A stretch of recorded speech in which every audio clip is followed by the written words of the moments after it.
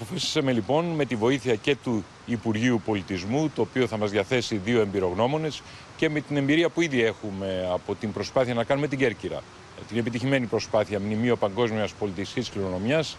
να